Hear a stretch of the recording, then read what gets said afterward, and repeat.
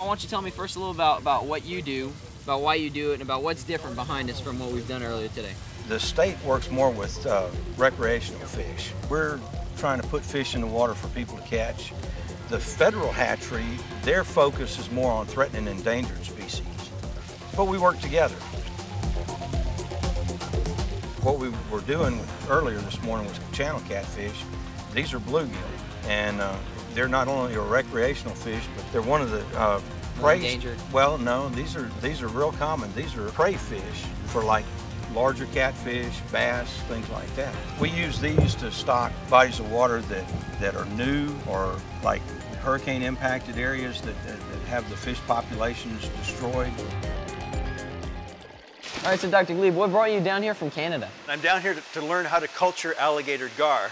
And you might think this is a bit strange because we don't have alligator gar in Canada, but we have a related Right. species called the spotted gar, which the government has declared uh, endangered. So to keep it from going extinct, we hope to raise uh, that species of gar under the same conditions as the alligator gar to enhance the wild populations. I know these are some gar right here. What are we gonna These be are doing with gar these that I raised here from eggs. And I'm going to let you uh, uh, handle these. I'm, I'm going to provide you with a, a wire mesh glove. This is the same material that's uh, used in the scuba suits. Uh, when divers swim with sharks, it protects them from injury. It's to pre- prevent you from, from being lacerated because alligator gar Lacerated. have quite well-developed teeth at this stage, probably a quarter of an inch long or more. And they have not two rows, but they have four rows of teeth in their mouth. So, you, you I want want me you to put my hand in there? I, I want you to put your hand. I will supervise from a distance. This will be a new crazy? This will be a new experience. The only risk is maybe a few lacerations, a few stitches. That's all. Now, they're, they're not gonna snap at me, are they? No, uh, hopefully not. Just you have to grab them by the head. But pick up the biggest one because that's the Slippery. This is actually a lot harder than it looks.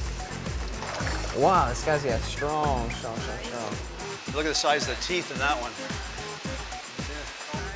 So they swallow their food whole? They sw- swallow it whole. Yeah. Wow. Whoa. Don't forget, these are raised from eggs. They're only five months old. They are the fast, in my history of- of raising fish for 30, in 30 years, I've never seen fish that can grow as fast as the alligator gar. And remember, these are very primitive fish. They've been on the planet unchanged for over 100 million years. They are older than the dinosaurs. All right, I'm here with Miss Karen Kilpatrick at the National Fish Hatchery down in Natchitoches. Now, Miss Karen, I thought this was a fish hatchery. What are we doing with turtles today? Well, we are trying to help restore their populations, but the reason that they're here in addition to fish is the, the hatchery is really just here to protect species that need help and to give them a jump start that they wouldn't have out in nature. What kind of turtles are these? These are alligator snapping turtles. So they bite. they bite. Now these And- are little guys that we're working with today, so they, if they bite it won't hurt too much, but the big guys, they would take your fingers off. Okay, so uh, okay, I don't have to be too too worried today. Then. No, not too worried. All right. Okay, so what are we doing? Well, first thing we want to show is that what the turtles look like. These are young hatchlings that just hatched out in August, and we're working with them in conjunction with a refuge to try to hatch these guys out and restock them back on the, the refuge because their populations are in decline from raccoons robbing the nests and also from fire ants. Overall, they're in a huge decline in the southeast. Just for anybody curious, how big can these guys get? These guys can get to be, the biggest one I've seen is 240 pounds. And that's about pounds. this big, and the head is about the size of a football. It's like a high school lineman. How much he weighs? Wow. Yeah, they, they can be pretty monstrous. Well, what are we doing with this right here? Well, one of the things that we're doing with this batch of turtles in particular is we are trying to learn how to mark them so that when we get them up to a bigger size out in the wild, we can go trace them and we can follow them and see how they do out in the wild. We like to do what we call pit tag them. And we have these little microchip and we put it in a needle like this. He's already marked Okay. pull his little leg out. They're not happy when you do this. This is not fun for the turtle. And then you put that, you, you would take your needle and you would inject it in here just below the skin. So we're not gonna do it, but you would inject that tag into his body. And what we're trying to find out is, does it have any effect on the turtle's growth rate? And do they lose that pit tag over a period of time. Right. And why don't you read the pit tag? Okay. Just hold it next to him. 144, so on and so forth. It goes on.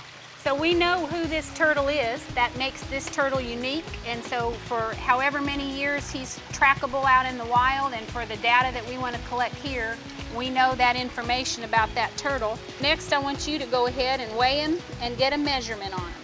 All right. And I'll record the data.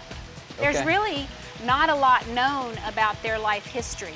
And so that's one of the things that we're looking at. And there's just a lot of really cool information we need to find out. And that's why we do what we do.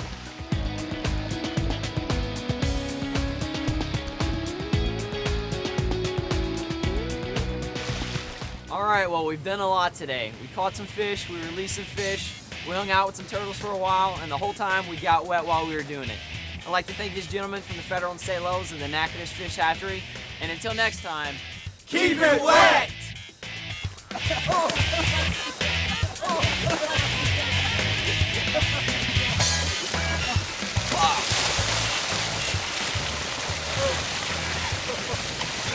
You could get a spine that goes into your knuckle or something. It's worth a try, isn't it? So I want me you- to put my hand in there. This will be a new ex- crazy. This will be a new experience. This is a catfish with spines, and I'm grabbing it. Tell me why I'm in the water in October again. Genetics and evolution. I, I see it, Alex. I see it. Don't point the mouth in my direction. What is a fish, a fish, ash, fish, a fish, a fish, a fish hatchery, and what do y'all do? They, if they bite, it won't hurt too much. But the big guys, they would take your fingers off. This truly is wet work. Wow.